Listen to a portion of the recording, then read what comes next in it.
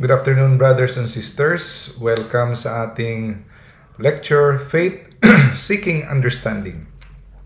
Knowing Our Faith, no? Catholic Catechism. Ngayong hapon, ang ating tatalakayin is about the life of Saint Pascal Baylon. Ang ang santo na dumilat ang kanyang mata sa kanyang uh, lamay, no? Before that, let us start with a prayer in the name of the Father, and the Son, of the Holy Spirit. Amen. Soul of Christ, sanctify me. Body of Christ, save me. Blood of Christ, fill me with love. Water from Christ's side, wash me. Passion of Christ, strengthen me. O good Jesus, hear me. Within your wounds, hide me, and never let me be separated from you. From the evil power, protect me. At the hour of my death, call me. Tell me to come to you, that with your saints will be with you forever. Amen.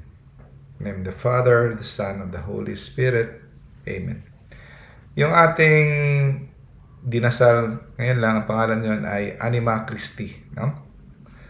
Okay. The saint who opened his eyes at his funeral. Napaka-inspiring ng buhay ni Saint Pascal Baylon. Uh, marami tayong matutunan. It's very inspiring. si Saint Pascal Baylon ay isa siyang Franciscan. Lay brother siya, hindi siya pare. Pinanganak siya sa Spain, Valencia. Pentecost. Araw ng Pentecost siya pinanganak. 1340 No, tagal na. Siya ay pangalawa sa anim na uh, mga anak. At tinawag siyang Pascal dahil sa vigil ng Pentecost siya pinanganak. Pagkatapos, bata pa lang siya, pinatrabaho na siya dahil napakahirap ng buhay nila. No? Hindi pa siya umabot sa pagkabinatilyo. Nagtrabaho na siya, namasukan na siya bilang tagabantay ng mga karnero uh, mga sa Bisaya, karnero, mga sheep, no? Hanggang sa edad na 24, hanggang pumasok siya sa pagka-religious, yun ang trabaho niya. Babantay ng mga sheep. Bata pa siya, makiki- makikita na ang kanyang pagmamahal sa Holy Eucharist. Matinding pagmamahal sa Eucharist. Bata pa siya, ano na, no? Makita ng pagkabanal niya at ang napansin ng kanyang amo na para sa para sa kay Pascal, no? Ang pinaka special na gift na mabigay mo sa kanya ay papayagan mo siyang magsimba. No? Kung makasimba siya, hindi lang yung sa Sunday ha, makasimba siya within the weekday. Pag pinayagan mo, titingnan niya yon na napakalaking utang na loob. No? at mal- sa kung saan siya nagbabantay sa field no makikita sa kalayuan ang ano ng kampana sa simbahan doon pa lang pag nakita niya pag nagbelyon luluhod siya no at he will adore the blessed sacrament kahit sa malayo one day habang nagsisimba siya during the consecration no?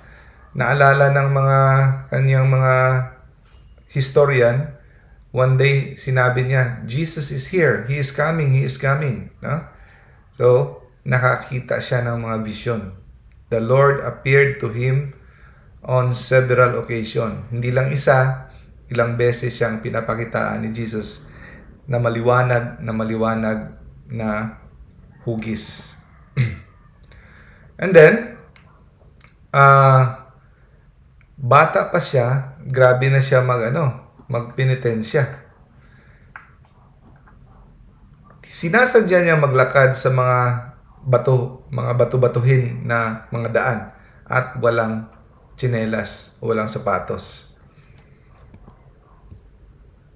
Tapos, napaka-inosente niya at napaka-banal na according to the history, no? sa kanyang kwento na kanyang buhay, never siyang gumawa ng mortal na kasalanan.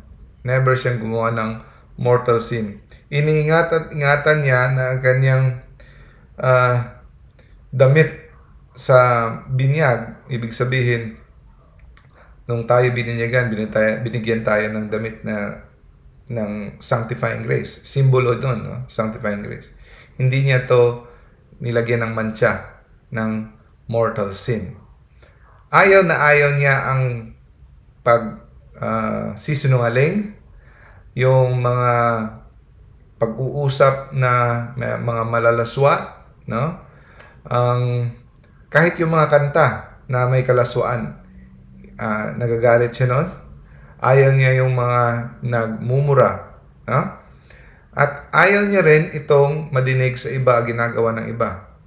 Oh, lumalayo siya or pwede minsan uh, pinagsasabihan niya. No? Tinutulungan niya ang iba na magbago, lumayo sa mga ganong klaseng mga kasalanan at pamumuhay. Sa kanyang pagbabantay ang ng mga uh, karnero, mga inuutos sa kanya, may mga hindi lang sheep, kundi meron ding mga baka o ano pa. Pilit niyang inaalagaan na hindi makapinsala sa lupain ng iba. No? Grabe siya magbantay.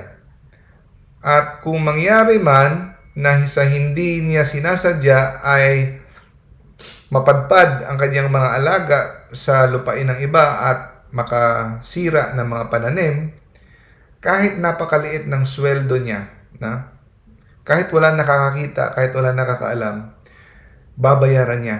Mag-o-offer siya na babayaran niya sa kanyang maliit na sweldo ang mga napinsala kung kumain man niya ng damo, palay o ano, no, sa kabila. At hindi siya kumukuha ng kahit anong mga bunga ng pananim sa kabilang uh, sa kabilang mga lupain, no? Basta alam niya na hindi sa kanila, no? Ito'y ordinaryo ng ginagawa ng ibang mga kasamahan niya, pero siya hindi hindi niya ginagawa manguha ng mga kahit ano bunga o ng pagmamayari ng iba. Isang araw, uh, ang kanilang chief, no? Chief ng mga shepherd, inutusan siya na pakipitasan siya ng konting ubas sa kabilang uh, lupain kasi uhaw na uhaw na siya. At para maibsan ang kanyang uhaw, kung pwedeng pinakiusapan siya na pitasan siya. Pero, hindi pumayag si Pascal dahil sabi niya, kasalanan yun sa Diyos, hindi sa atin yun. Nung narinig yun ng kanilang head, galit na galit. At pinagbantaan siya na kung hindi siya susundin, malilintikan siya, no?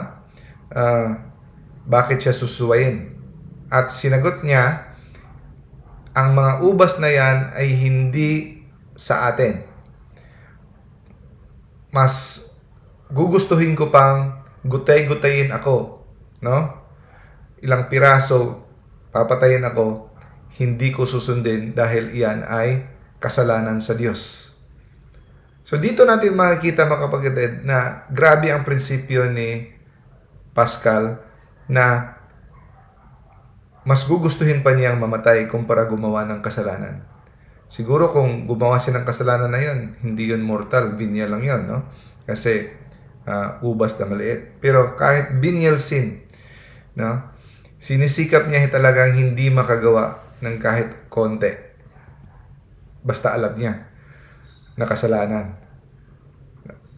Mahilig siyang magdasal, gustong gusto niya magdasal, no? Uh, he loved prayer more than the pleasures of youth. Yung ibang mga kabataan, yung kasayahan, kasiyahan, kasama yung mga ibang mga binatilyo siya, mas pinipili pa niyang magustuhin pa niyang magdasal. Mas naaaliw siya at mas natutuwa siya magdasal kumpara sa mga kaaliwan ng mundo.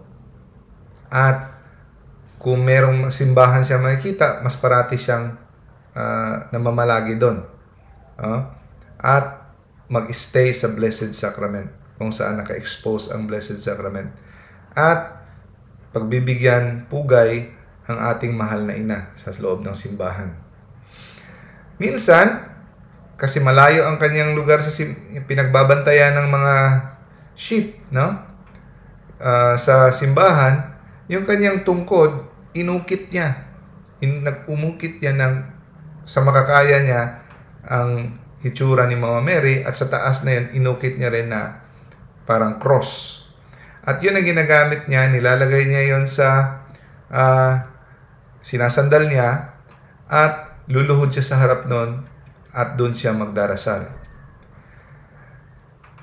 Sa kanyang ginawang yon, tila ba tuwang-tuwa ang Diyos na dahil sa kanyang naisip na simpleng bagay na bibigyang pugay ang ating Diyos at ang ating ina, mahal na ina, mahal na Maria, binigyan, nagpakita ang Diyos ng milagro sa pamamagitan ng kanyang tungkod. Isang araw na sila ay walang tubig, uhaw na uhaw ang kanyang mga kasamahan na mga shepherds, no? Hinampas niya ang kanyang tungkod sa lupa at lumabas ang agos ng tubig at sila ay na ibsan ang kanilang uhaw. 20 years old siya, pinakitaan siya ng vision ni Saint Francis at Saint Clare na vision na sinabihan na papasok siya sa uh, pag-religious. Yun ang sign niya. No? Now,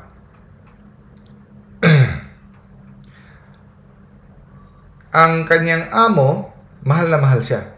Kasi napaka-honest niya. Napaka-dedicated, napaka-hardworking, especially honest. At sinabihan siya na pamahal na siya sa kanyang amo. Gagawin kita na parang anak at ipapamana ko sa iyo ang aking mga ari-arian. Pero tumanggi siya, no? Tuwa siya pero natang, tumanggi siya. Sabi niya, mas gugustuhin ko pang ko po na manatiling mahirap para magsilbi para magkaroon ng kayamanan ng kaharian ng langit. No? So, mas gusto niya ang pamumuhay na mahirap para siya ay parating nakadepende sa Diyos. At ayaw niya, at alam niya na rin na siya ay papasok pagiging uh, relihiyoso. Ayaw niyang may hadlang na baka mabago ang isip niya kung itong mga ari-arian ibibigay sa kanya buo na ang kanyang loob na papasok siya bilang religyoso. Joining the Franciscans. So, 24 years old siya nung pumasok. No? Sa una, hindi pa siya sana tatanggapin dahil wala siyang edukasyon. Medyo no read, no write siya. Nakat natuto lang siyang magbasa, no? konti, sa para sapat na na makapag-pray siya ng office of the Most Holy Virgin Mary. Yung prayer na the little office of the Most Holy Virgin Mary. Na parating niyang daladala na yon kung magbabantay siya ng mga sheep. No? At ang paborito niyang dasal ay ang Jesus in the Blessed Sacrament at the Blessed Virgin Mary. So sa madaling panahon, naging ano kaagad siya, no?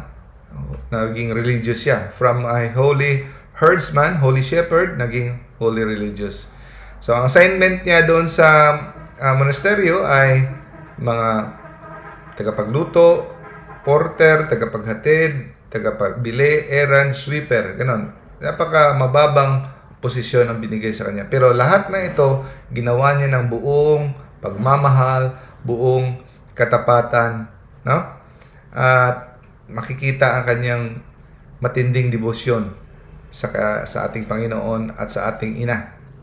Napaka pakumbaba niya, no? Namumuhay siya sa napaka uh, tinatawag na maximum poverty. Hindi, uh, kung pwede pa lang wala siyang uh, mga material na bagay, uh, wala siyang mga magarang damit, mga lumang damit, extreme poverty. No? At above all, masunurin sa lahat ng bagay, obedience in all things sa kanyang superior.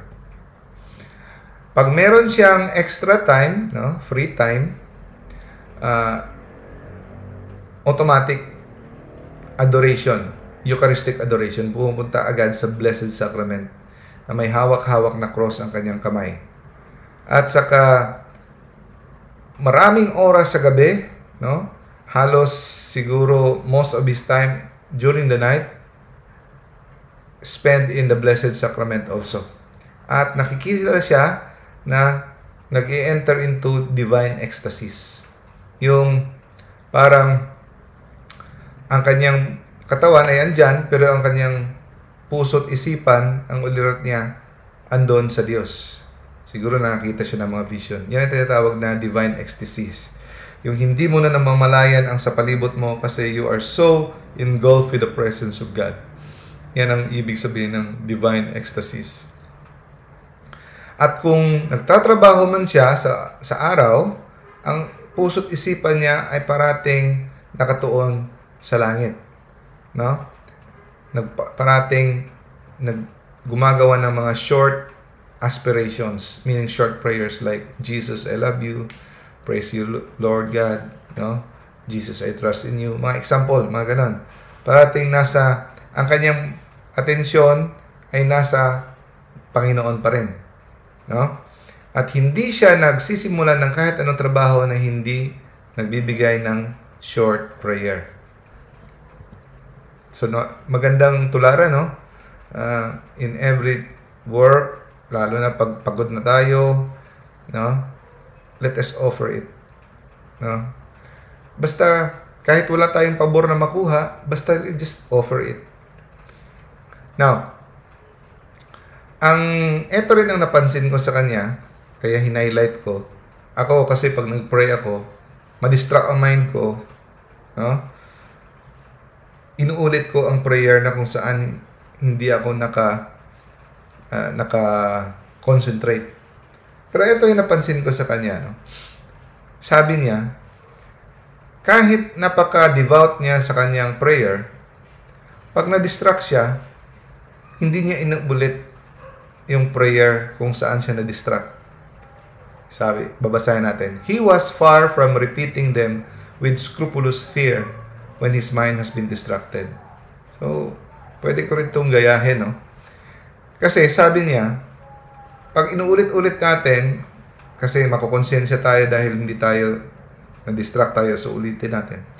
Hindi daw nasisiyahan ang Diyos with this kind of repetition. Kasi ang ang nagbi yan ay magiging uh, pagkakataon ng Diablo na bigyan tayo ng uh, trouble in our soul. Yung magiging magagambala tayo. So, hayaan mo na kung na-distract ka, bawi ka na lang susunod. Hindi mo na kailangang babalik ulit, balik ulit. Just try your best na hindi ka ma-distract.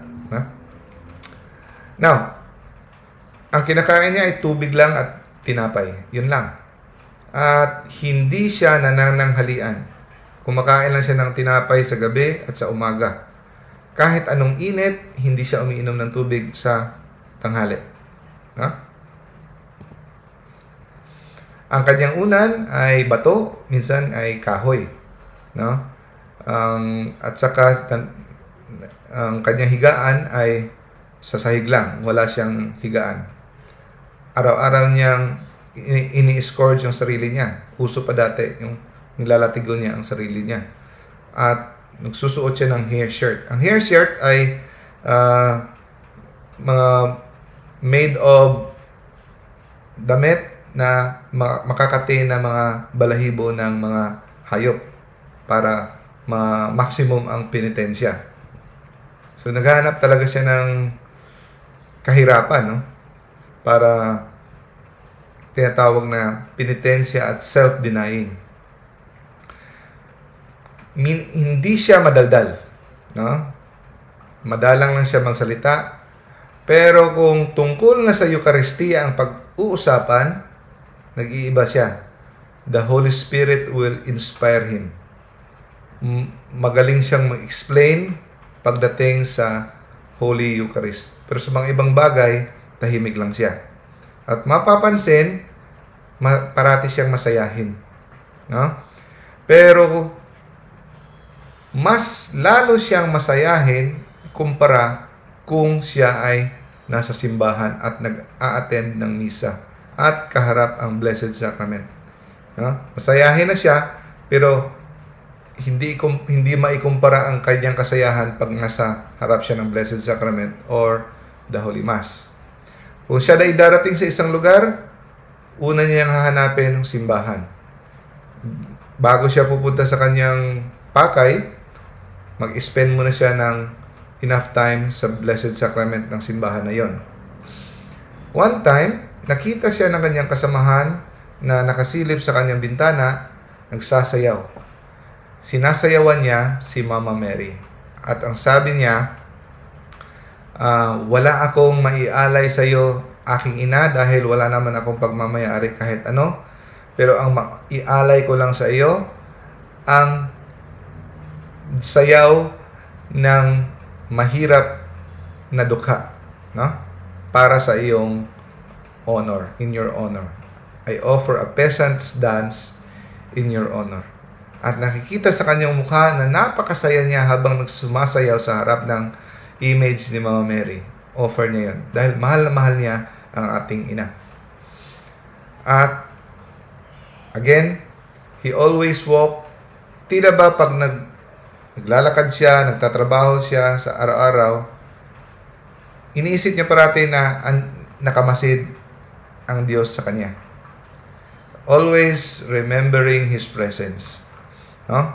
At hindi mo makikita na siya ay naiirita, nalulungkot, always cheerful. So, magandang aral din sa atin ito. Kasi, kasi, totoo yung sinasabi, the fruits of the Holy Spirit, love, joy, peace, patience, kindness, gentleness, generosity. Kaya kung nababasa ko itong mga Life of the Saints, nasasabi ko, ang layo ko pa pa talaga. Ang dami ko pang bigas na kakainin. Layo pa. Kasi, ang layo ko pa, hindi pa ako ganito always cheerful. No? Bugnutin pa minsan. No? Pag marami ng pasyente at gutom na, nagiging nakasimangot na. No? Pero siya, no? so dyan mo makikita na ang Holy Spirit andyan talaga sa kanya. No? Maximum, uh, ano na, um, reliance on the Holy Spirit. Hindi mo makikitang nalulungkot, hindi mo nakikitang nairita. Always cheerful, always bright. And then, hin ayaw niya na pinupuri siya. No? Kung, may, kung pwede pa lang, aalis siya pag siya ay pinupuri. Pag may nakakarinig siya na kanyang pinaparangalan siya, hindi siya komportable, ayaw niya. No? At mas gusto niya, mas nag-enjoy siya pag na siya ay kinakantsawan at parang inaalipusta. No? Uh, siya ay tinatrato na hindi maganda, mas komportable pa siya ganun. So dito mo makita ang quality ng pagiging humble, humility. Ha? Hindi yun false humility, kundi mas gusto niya na wala siyang dangal sa harap ng tao. So, pinakaingatan niya na ang kanyang konsensya no, ay banayan. Lalo na ang kanyang chastity. Sa sexual na bagay, pinakaingit-ingatan niya, stricto siya tungkol doon. Lalo na sa mga bisyo, ay maiiwasan niya ang lahat ng bisyo. Especially the, the virtue of chastity.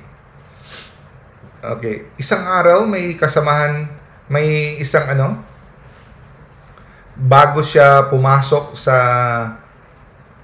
congregation, kasamahan niyang shepherd pumunta sa kanya at nagsabi ng malaswa na joke.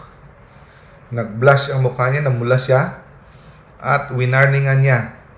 Na next time, sasabihin mo yan sa harapan ko, ang sinabi dito, magandang pagkasabi sa English, He would give the wanton such a reception as would soon extinguish the flames of evil desire. You can read between the lines, maintindihan mo na lang na pag sinabi mo ulit yan ng ganyang kabastusan, no? Matitikman mo na mawawala kung, kung sa ano pa yung apoy hahampasin para ma, ma, ma, ma ano, mamatay yung apoy. So, baka makakatikim ka. Ganon siya ka-stricto tungkol sa mga kabastusan, kalaswaan. Ayaw niya kahit yung mga joke ng mga kabastusan. Isang araw, nung ang kanyang duty ay magbubukas ng pintuan sa kanilang monasteryo, may isang babae na ano, um, mapangahas, hinalikan siya, no? Hinalikan siya sa pisngi, tila ba siguro nagpapakyut or nagpapasalamat na binuksan siya, pero namula ang kanyang mukha at tinulak niya with holy anger, tinulak niya palabas ang babae at sinarahan sa kanyang mukha. Ganon siya kastrikto na magbantay sa kanyang chastity. Ayaw niya ng kahit konting uh, uh, pagkakataon na siya ay matukso. No? Kung stricto man siya tungkol sa kanyang uh, pag-iwas sa kasalanan, ganun din siya sa iba. Kung maaari, tutulungan niya ang iba na mapalayo sa mga kasalanan. At ma-promote ang mga magagandang ugali like virtues. Kahit hindi siya pare, no? Maalala ko ito, nakaka-relate ako sa kanya kasi maraming nagsasabi sa akin, hindi ka naman pare. Bakit ka parating nag bakit ka parating nagtuturo ng iba ay lalayo sa pag, pag sa buhay kasalanan, hindi ka naman pare. Hayaan mo na mga pare Oh, may iba nagsasabi sa akin, meron kayatang ano, meron kang messianic complex na feeling mo.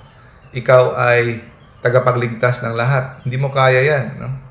Pero uh, tinatawanan ko na lang sa loob-loob ko dahil hindi nila alam na hindi lang trabaho ng pare ang pag-aakay ng tao patungo sa kaligtasan.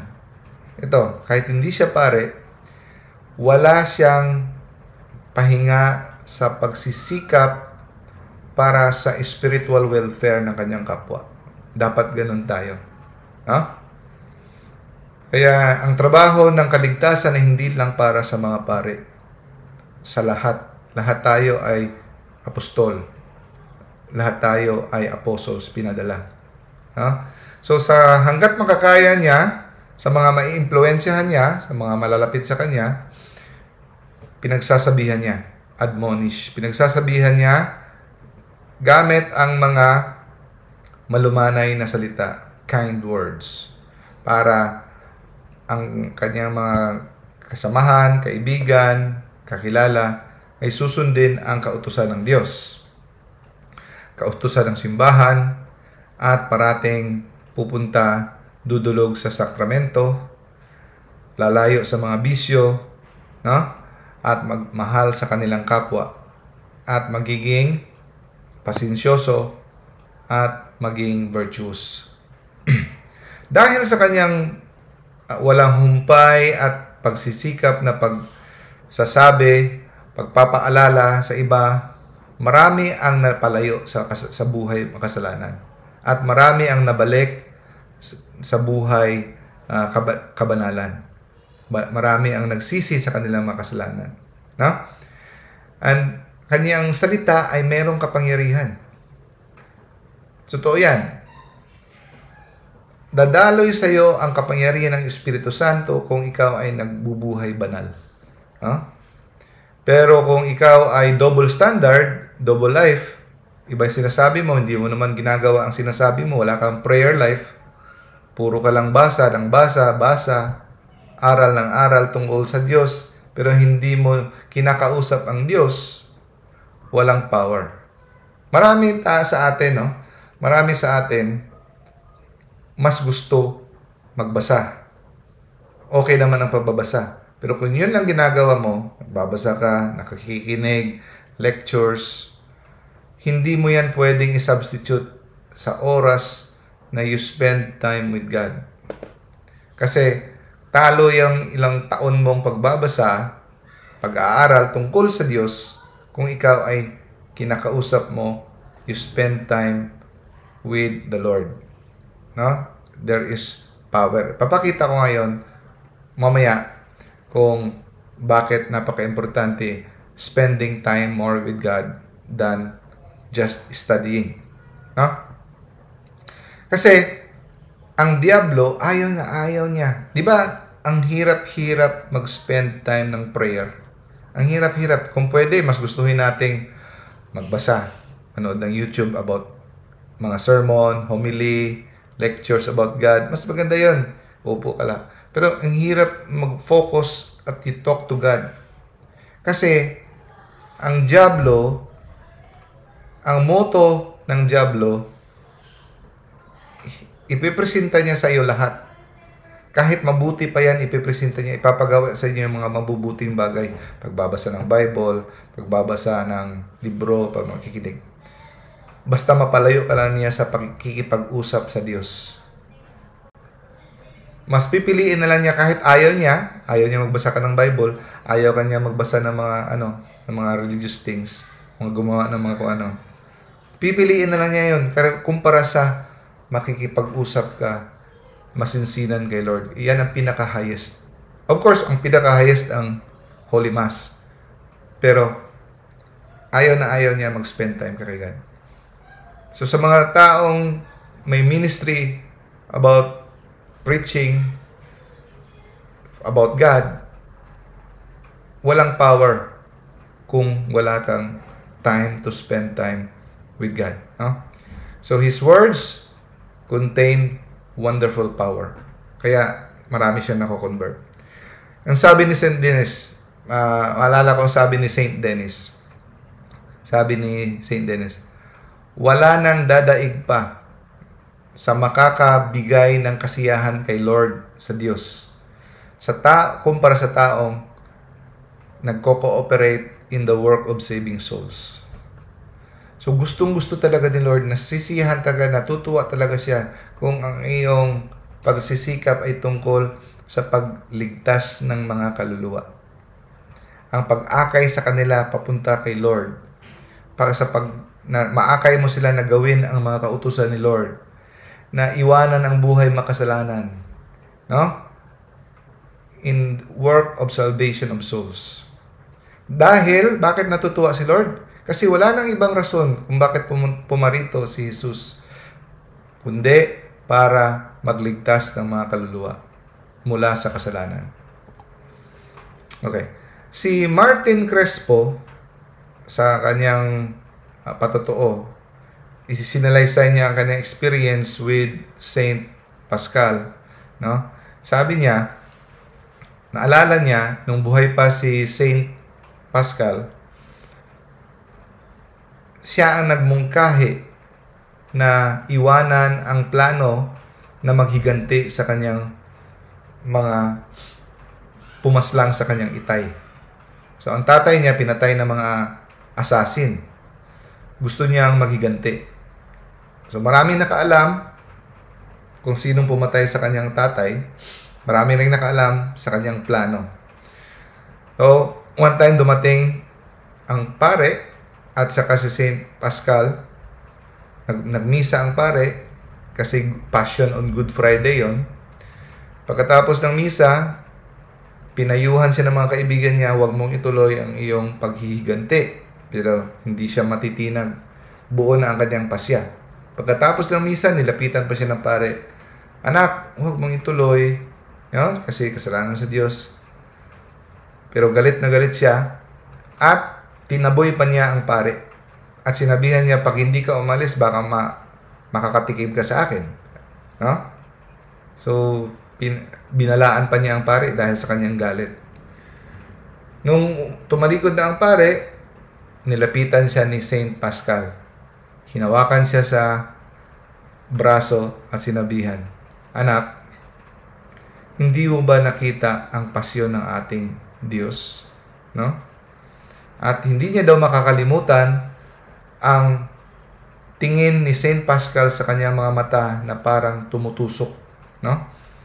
Sabi ni Saint Pascal sa kanya, dahil lang sa pag para sa pagmamahal sa ating Panginoong Hesus no? na pinako sa krus. Patawarin mo na ang pumatay sa iyong itay. No? Hindi niya mapaliwanag, no? He bowed his head and he cried. Umiyak siya. Sabi niya, For the love of God, I forgive them with all of my heart. So, hindi siya makumbinsi ng mga friends, hindi siya makumbinsi ng pare, pero kay St. Pascal nakumbinsi siya. Ito yung tinatawag na power. The power of the Holy Spirit flowed from this holy man. Huh? At sabi ni, pangalan niya si Martin, sabi ni Martin, mula noon, feeling ko hindi na ako pareho dati nagbago ang buhay niya. I did not feel like I was the same person. Okay? Ganon din, meron ding nakumbinsi si Saint Pascal, isang babae na malapit na mamatay, na nag, nagagambala, no? Dahil feeling niya mapupunta siya sa impyerno at malapit na yung kamatayan, hindi niya alam kung ano yung gawin. Pero ito ay natulungan din ni Saint Pascal na manalig lang sa Diyos sa kanyang awa at pasanin na may pagtitiwala at pagpapasensya ang kanyang mga karamdaman. No? Also, matindi rin magdasal si Saint Pascal para sa mga preachers para sa mga nag uh, sisiwalat ng katotohanan, nagsisiwalat ng ebanghelyo. He also prayed for them. Huh? So another lesson, do we pray for those people who are preaching the good news? Huh? So, ang kanyang prayer na ang kanilang words will have power to convince and to convert the hearers. So we should also pray for those missionaries, for those preachers, for the priests. At ang kanyang prayer, according to uh, sa kanyang mga testimonies tungkol sa kanya is very, very effective. Kaya dahil sa kanyang mga katangian, sa kanyang pagka mapakumbaba, mahira, mahil, uh, pumipili sa kahirapan, lahat na yan, katangian, napamahal siya sa lahat ng mga tao. No? At hindi lang doon, dahil din sa mga special na mga grace na binigay ng Diyos sa kanya. Ito ay mga extraordinary grace. Supernatural. Kagaya number one, ang kanyang infused knowledge. Tandaan natin, wala siyang pinag-aralan. Wala siyang pinag-aralan, hindi siya pumasok sa seminaryo, wala siyang pinag-aralan. Pero, intindihan niya ang mysteries of the faith. Talo pa niya ang mga theologians. Kahit yung mga napakalalim na mga misteryo ng ating pananampalataya. Meron siyang wonderful comprehension. No? Ma-explain niya na mam mamamangha ang mga theologian na kaharap niya. No? At nakaka-compose siya ng mga napakagandang mga prayer, especially about the Blessed Sacrament.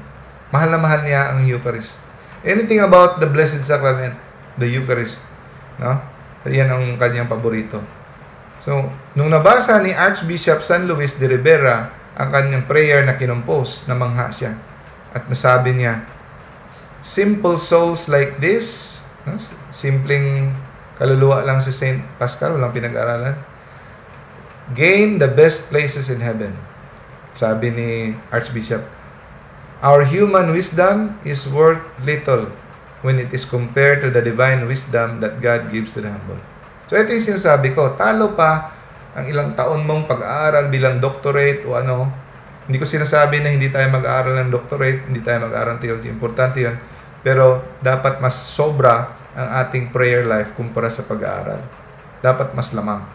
Kasi ito yung example, sabi ni Archbishop, ang ating dunong no, ay walang binatbat kumpara sa divine wisdom na ibibigay sa mga taong mapagkumbaba. Ha? Meron siyang infused knowledge. Kahit ang mga guro na ang mamangha sa precision, no? Sa pagsagot niya ng mga napakahirap na mga theological questions.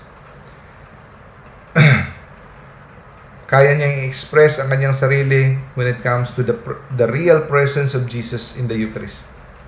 Madepensahan niya na si Jesus ay physical, body, blood, soul, divinity ni Jesus Christ ay nandiyan sa Holy Eucharist. At ito ay dinidepensahan niya itong katotohanan na ito laban sa mga protestante. At dahil sa kanyang pakikipagdepensa, ilang beses na siyang malapit mamatay. Ilang beses na siyang pinagtangkaang patayin ng mga protestante. Ito mga huge Huguenot mob. Ang tawag dito Huguenot, mga French Protestants ito. Ilang beses siya pinagtangkaan. Pero, pinadalan siya ng angel ni God na protected him, lalo na yung pag-travel niya going to Paris pabalik.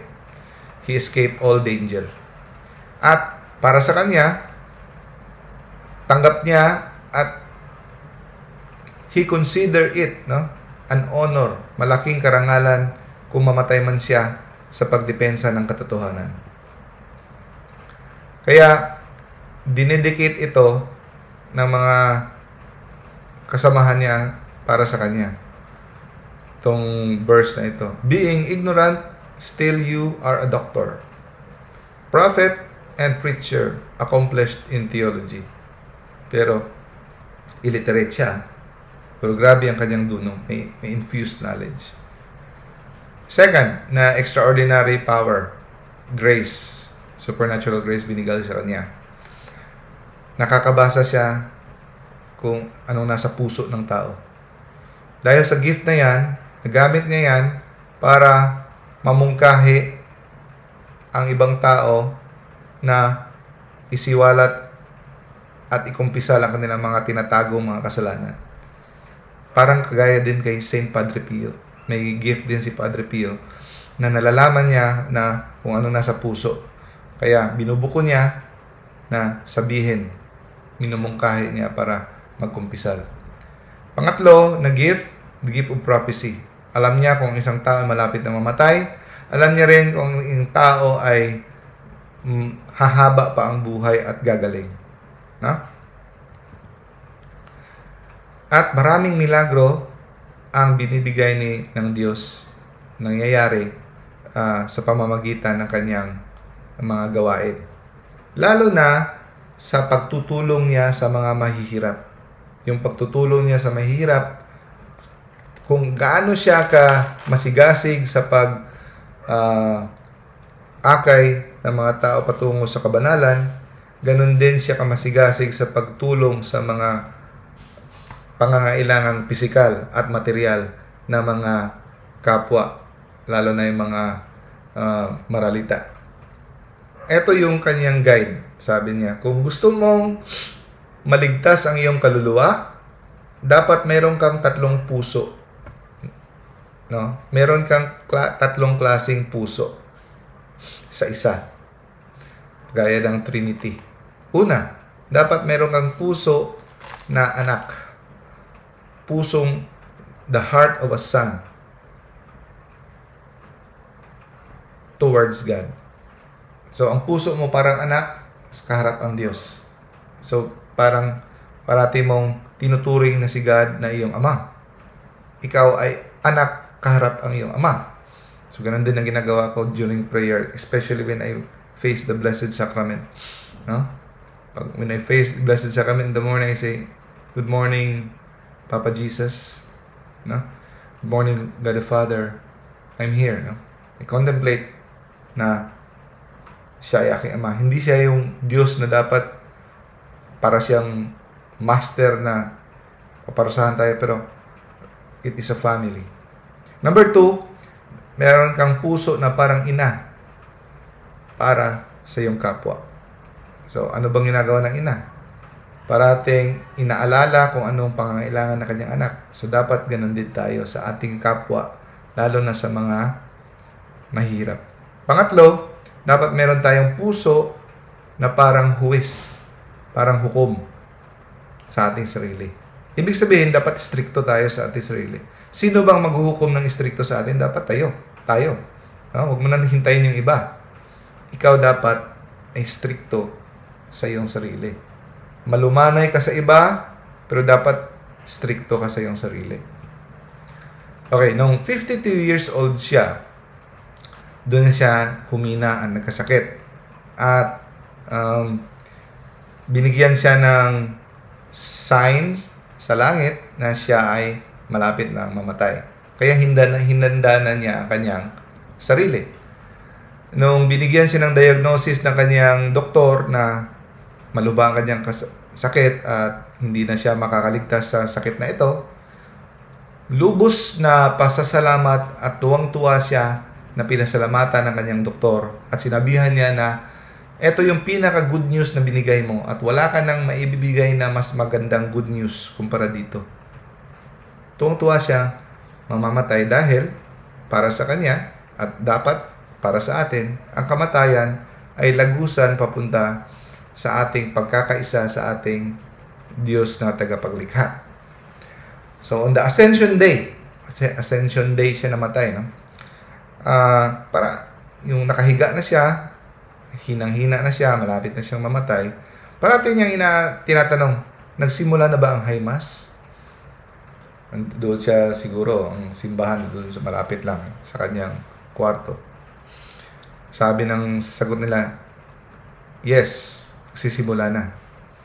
At nung hinang-hina na talaga siya, malapit na siya mamatay, tinanong niya, bakit ba nakakarinig ako ng ringing, no?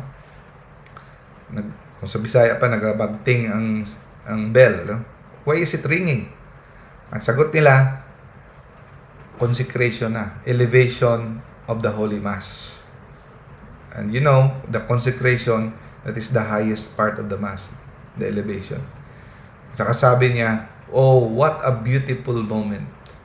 No? Kinuha niya ang crucifix at rosary, nilagay niya sa kanyang dibdib ng mahigpit at namatay tamang-tama during when the race the sacred host was raised. No? 'Yun ang timing ng kanyang kamatayan. May 15, 1592. Sunday of the Pentecost. No? Sunday of the Pentecost, Ascension Day. Now, according to witnesses, sa malaya, medyo uh, hindi masyado kalayuan, nakita nila daw na may parang chariot na umakyat papuntang langit sa lugar kung saan namatay si Saint Pascal at sa oras na siya namatay. Parang kagaya kay Elias, Elijah, na dinala siya ng chariot papuntang langit. Tatlong araw siyang nilagay sa simbahan para maki, ma, ma, ma, makadalo at maka bisita ang mga tao para sa kanya, no? Um, ang ang custom nila ay naka-open stretcher lang, hindi nakabalot sa kabaong. Open lang, no? So during the mass for the dead para sa kanya, no? Nakita nila na when the Blessed Sacrament was raised, siya ay umangat ang kanyang ulo bumuka ang mukha, ang mata, at tumingin sa Blessed Sacrament. At bumalik. Dalawang beses yon Kada pataas ng Blessed Sacrament, tumataas ang kanyang ulo, tiniting bumuka ang mata, at bumabalik again. Si Eleonora Horda y Miedes, ita, isa ito sa mga witness na nagpapatotoo na nakita niya at nilapitan pa niya. Nung nakita niyang bumuka ang mata, nakasigaw siya ng konti. No? Nakasigaw siya nung nakita niyang bumuka ang mata ni Saint. Nilapitan niya at hinalikan. No? Akala niya buhay. Hinalikan niya ang paa at kamay. No? So, sa mga nakakilala sa kanya, alam nila kung bakit pinahintulutan ito ng Diyos dahil sa kanyang paglabis na pagmamahal sa Blessed Sacrament, the Holy Eucharist. Na? Matinding pagmamahal niya. Kaya nga when I pray every day, Lord, give me the grace to have a deeper understanding, deeper appreciation, and deeper love for this greatest sacrament of all, which is you. No? So after 8 months, hinukay ulit ang kanyang bangkay. Nung hinukay nila, kasama ito si Father Simenes, isang wit- isa sa mga witness sa paghukay, nakita nila na hindi na agnas ang kanyang katawan. Ganun pa rin. Kahit na nilagyan ito ng lime. Hindi ko alam mo yung lime sa Tagalog. Ang purpose ng lime ay para madaling matunaw ang katawan. Kasi para sa kanila, kung sakaling may magbibisita sa kanyang puntod, mas mabuti na yung hindi siya mabaho at puting buto na lang matitira. Mas disente tignan. Pero by miracle, yung line walang effect sa kanyang katawan. Hindi siya nasira. Ganun pa rin. No? He is still preserved. At ang kanyang puntod ay lugar kung saan maraming milagrong nangyayari mga kagalingan ng mga sakit. So, 1618, October 29, he was beatified by Pope Paul V. At noong 1690, October 16, he was declared saint canonized by Pope Alexander VIII. Siya ay ginawang patron ng Eucharistic Conferences, Eucharistic Associations by Pope Leo 13th. No? And November 28, 1893, ginawa siyang patron ng Eucharistic Conferences. Ganun ang buhay niya. So let us have this closing prayer. In the name of the Father, the Son, of the Holy Spirit. Amen. Dear Saint Pascal, obtain for us from the good God an immense love for the most holy Eucharist, a very great fervor in frequent visits to the Blessed Sacrament, and a high esteem for the Holy Mass. Amen. In the name of the Father, the Son, and the Holy Spirit. Amen. Saint Pascal Balon, pray for us.